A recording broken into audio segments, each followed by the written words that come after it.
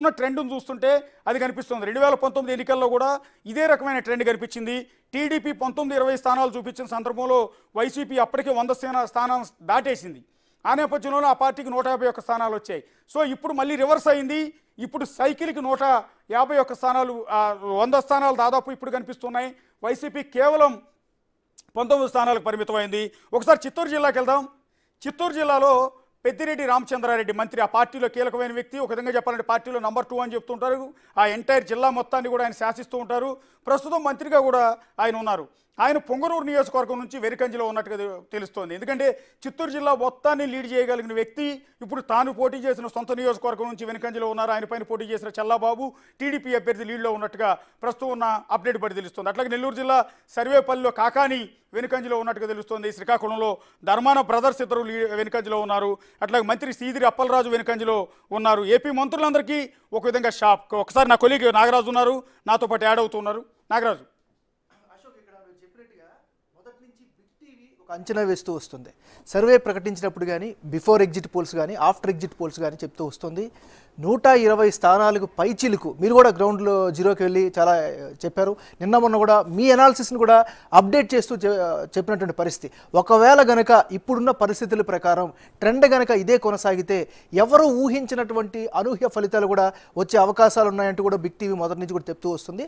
దానికి అనుగుణంగానే ఇప్పుడు అప్డేట్ మనకు వస్తుంది. ముఖ్యంగా మీరు ఇప్పుడు చెప్పారు పెద్దిరెడ్డి విషయం తీసుకుంటే పెద్దిరెడ్డి కేవలం ఒక ప్రాంత నాయకుడిగా కాకుండా ఆల్మోస్ట్ ఆల్ రెండు జిల్లాల్ని చిత్తూరు జిల్లా నుంచి పెద్దిరెడ్డి రామచంద్రారెడ్డి ఇందాక నేను చెప్పాను. ఎస్ ఎగ్జాక్ట్లీ పార్టీని లీడ్ చేసే వ్యక్తి పార్టీలో సెకండ్ ప్లేసు ఆయన పొంగనూరు కాన్స్టిట్యున్సీ నుంచి ఇప్పటికే మూడు నాలుగు సార్లు గెలిచారు.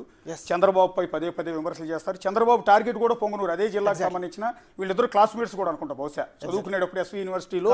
వీళ్ళిద్దరు కాంటెంపరీ అనుకుంటాను.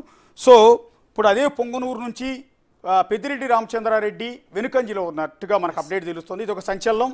ఇందాక నుంచి చెప్తున్నట్టుగా ఒక్కసారి దామోదర్ దగ్గరికి వెళ్దాం. దామోదర్? అశోక్ యా మీ- మీ జిల్లాలో జిల్లాలో చాలా ఇంట్రెస్టింగ్ ఎలిమెంట్స్ ఉన్నాయి. ఒకటి పెద్దిరెడ్డి రామచంద్రారెడ్డి వెనుకంజలో ఉన్నారని మీరు అప్డేట్ ఇస్తున్నారు. అట్లాగే మీ జిల్లాకి సంబంధించిన మంత్రి రోజా పరిస్థితి ఏంటి? ఈ ఇద్దరు అప్డేట్స్ ఇవ్వండి. అశోక్ ఏదైతే ఉమ్మడి చిత్తూరు జిల్లాలో బిగ్ టీవీ అంచనాలు నిజమవుతున్నాయి పదికి పైగా సీట్లు వస్తాయంటూ బిగ్ టీవీ చేసిన సర్వే ఖచ్చితంగా నిజమయ్యే పరిస్థితి కనిపిస్తుంది.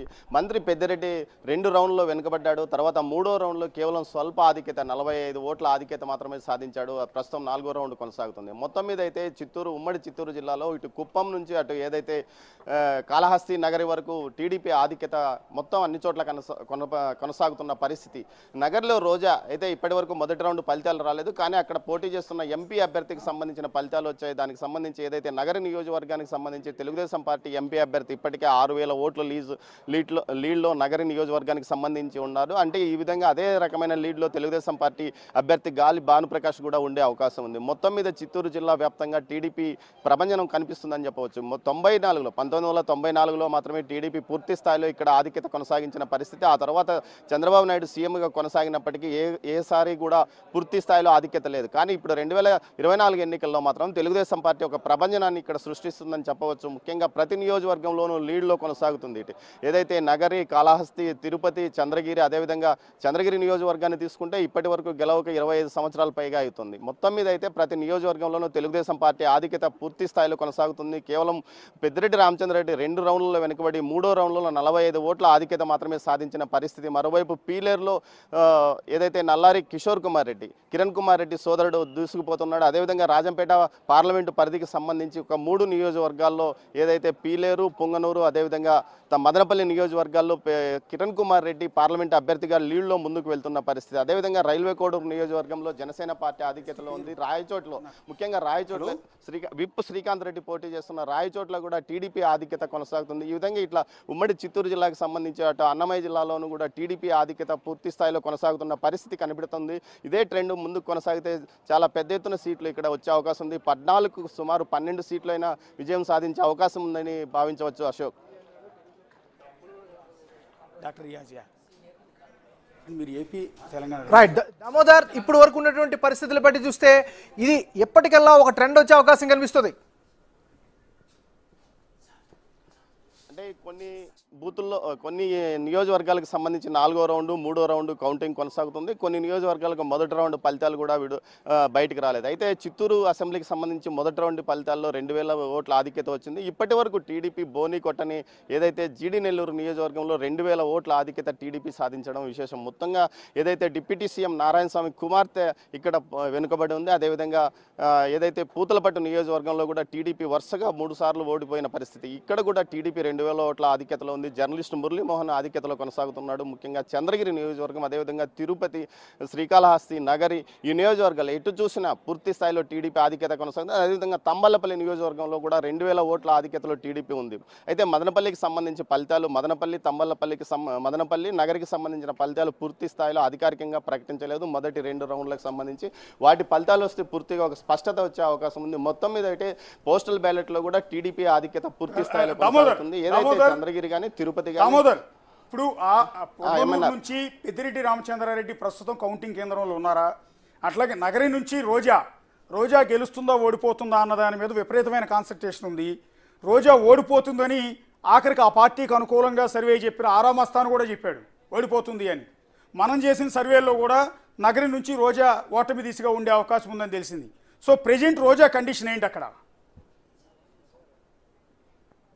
అయితే రోజా వెనుకబడిన పరిస్థితి రోజా వెనుకబడే వెనుకబడే వెనుకంజలోనే కొనసాగుతుంది. అయితే పెద్దిరెడ్డి స్వల్ప ఆధిక్యతలో ఉన్నాడు. అయితే రోజా కానీ అదే పెద్దిరెడ్డి కానీ ప్రస్తుతానికి కౌంటింగ్ కేంద్రంలో లేరు. వారు ఆధిక్యతను బట్టి ఇక్కడికి వచ్చే అవకాశం ఉందని తెలుస్తుంది. మొత్తం మీద అయితే చీఫ్ ఏజెంట్లుగా ఉన్నవారు ఎలక్షన్ కౌంటింగ్ నిర్వహిస్తున్నారు. అయితే ఇప్పటికి తెలుగుదేశం నాయకులు మాత్రం ఏదైతే అమర్నాథ్ రెడ్డితో పాటు మిగతా నాయకులంతా కౌంటింగ్ కేంద్రాల్లో ఉన్న పరిస్థితి అయితే తెలుగు కుప్పంలో కొంత మొదటి రౌండ్లో తెలుగుదేశం పార్టీ అధినేత చంద్రబాబు నాయుడుకు కేవలం ఎనిమిది వందల చిల్ల తాలు ఎనిమిది వందల ఓట్ల ఆధిక్యత మాత్రమే కొనసాగుతుంది. మిగతా నాయకులంతా జిల్లాలో మిగతా నాయకులంతా రెండు వేలు పదకొండు వందలు పదిహేను వందల ఓట్ల ఆధిక్యతలో కొనసాగుతుంటే చంద్రబాబు నాయుడు కొంత ఆధిక్యత మొదటి రౌండ్లో తక్కువగా ఉందని చెప్పవచ్చు అశోక్. అయితే పెద్దిరెడ్డి రామచంద్రారెడ్డి అదేవిధంగా రోజాలు పరిస్థితిని బట్టి ఇక్కడికి వచ్చే అవకాశం ఉందని తెలుస్తుంది.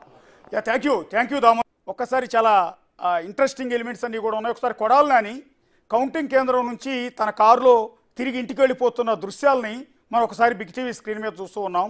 కొడాలనాని ఓటమి దిశగా దూసుకెళ్తున్నట్టుగా దీన్ని బట్టి మనకు స్పష్టంగా అర్థమవుతుంది. మీరు ఆ దృశ్యాల్లో కూడా చూడొచ్చు.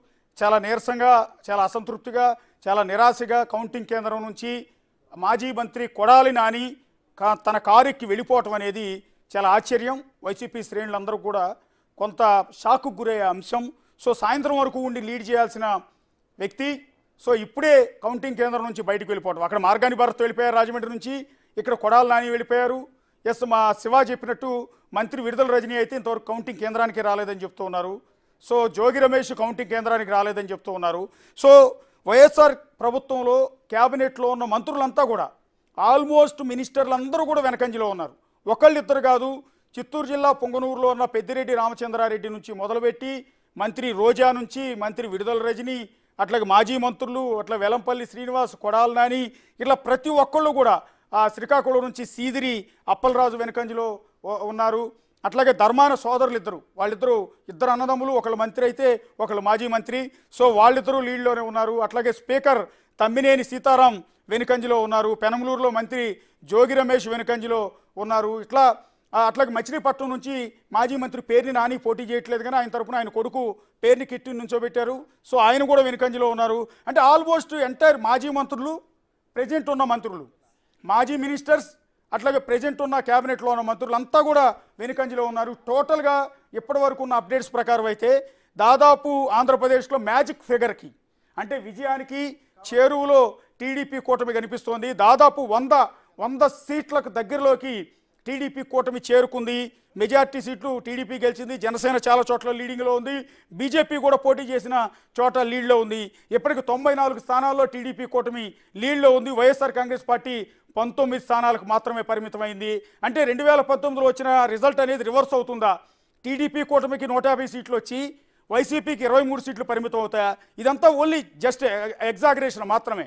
అంటే ఇప్పుడున్న ట్రెండ్ను చూస్తుంటే అది కనిపిస్తుంది. రెండు వేల పంతొమ్మిది ఎన్నికల్లో కూడా ఇదే రకమైన ట్రెండ్ కనిపించింది. టీడీపీ పంతొమ్మిది ఇరవై స్థానాలు చూపించిన సందర్భంలో వైసీపీ అప్పటికే వంద స్థాన స్థానం దాటేసింది. ఆ నేపథ్యంలోనే ఆ పార్టీకి నూట యాభై ఒక్క స్థానాలు వచ్చాయి. సో ఇప్పుడు మళ్ళీ రివర్స్ అయింది. ఇప్పుడు సైకిల్కి నూట యాభై ఒక్క స్థానాలు వంద స్థానాలు దాదాపు ఇప్పుడు కనిపిస్తున్నాయి. వైసీపీ కేవలం పంతొమ్మిది స్థానాలకు పరిమితమైంది. ఒకసారి చిత్తూరు జిల్లాకి వెళ్దాం. చిత్తూరు జిల్లాలో పెద్దిరెడ్డి రామచంద్రారెడ్డి మంత్రి ఆ పార్టీలో కీలకమైన వ్యక్తి. ఒక విధంగా చెప్పాలంటే పార్టీలో నంబర్ టూ అని చెప్తుంటారు ఆ ఎంటైర్ జిల్లా మొత్తాన్ని కూడా ఆయన శాసిస్తూ ఉంటారు. ప్రస్తుతం మంత్రిగా కూడా ఆయన ఉన్నారు. ఆయన పొంగనూరు నియోజకవర్గం నుంచి వెరికంజిలో ఉన్నట్టుగా తెలుస్తోంది. ఎందుకంటే చిత్తూరు జిల్లా మొత్తాన్ని లీడ్ చేయగలిగిన వ్యక్తి ఇప్పుడు తాను పోటీ చేసిన సొంత నియోజకవర్గం నుంచి వెనుకంజిలో ఉన్నారు. ఆయన పైన పోటీ చేసిన చల్లాబాబు టీడీపీ అభ్యర్థి లీడ్లో ఉన్నట్టుగా ప్రస్తుతం ఉన్న అప్డేట్ పడి తెలుస్తుంది. అట్లాగే నెల్లూరు జిల్లా సర్వేపల్లిలో కాకాని వెనుకంజిలో ఉన్నట్టుగా తెలుస్తోంది. శ్రీకాకుళంలో ధర్మాన బ్రదర్స్ ఇద్దరు లీ- వెనుకంజిలో ఉన్నారు. అట్లాగే మంత్రి సీదిరి అప్పలరాజు వెనుకంజిలో ఉన్నారు. ఏపీ మంత్రులందరికీ ఒక విధంగా షాప్ ఒకసారి నా కొలీగ్ నాగరాజు ఉన్నారు. నాతో పాటు యాడ్ అవుతున్నారు నాగరాజు అశోక్ ఇక్కడ మీరు చెప్పినట్టుగా మొదటి నుంచి బిగ్ టీవీ ఒక అంచనా వేస్తూ వస్తుంది. సర్వే ప్రకటించినప్పుడు కానీ బిఫోర్ ఎగ్జిట్ పోల్స్ కానీ ఆఫ్టర్ ఎగ్జిట్ పోల్స్ కానీ చెప్తూ వస్తుంది. నూట ఇరవై స్థానాలకు పైచిలుకు. మీరు కూడా గ్రౌండ్లో జీరోకి వెళ్ళి చాలా చెప్పారు. నిన్న మొన్న కూడా మీ అనాలిసిస్ని కూడా అప్డేట్ చేస్తూ చె- చెప్పినటువంటి పరిస్థితి. ఒకవేళ గనక ఇప్పుడున్న పరిస్థితుల ప్రకారం ట్రెండ్ గనక ఇదే కొనసాగితే ఎవరు ఊహించినటువంటి అనూహ్య ఫలితాలు కూడా వచ్చే అవకాశాలు ఉన్నాయంటూ కూడా బిగ్ టీవీ మొదటి నుంచి కూడా చెప్తూ వస్తుంది. దానికి అనుగుణంగానే ఇప్పుడు అప్డేట్ మనకు వస్తుంది. ముఖ్యంగా మీరు ఇప్పుడు చెప్పారు. పెద్దిరెడ్డి విషయం తీసుకుంటే పెద్దిరెడ్డి కేవలం ఒక ప్రాంతం